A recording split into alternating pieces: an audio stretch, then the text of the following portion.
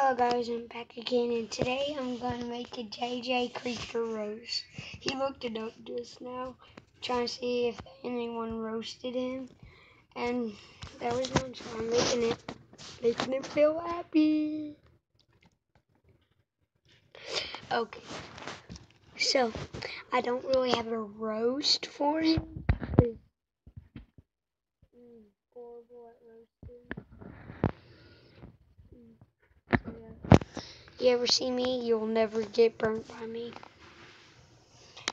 Uh, so, I'm just going to say the opposite of roasting, saying that JJ Creeper is very nice. He's very good. So go subscribe to him, please. Bye.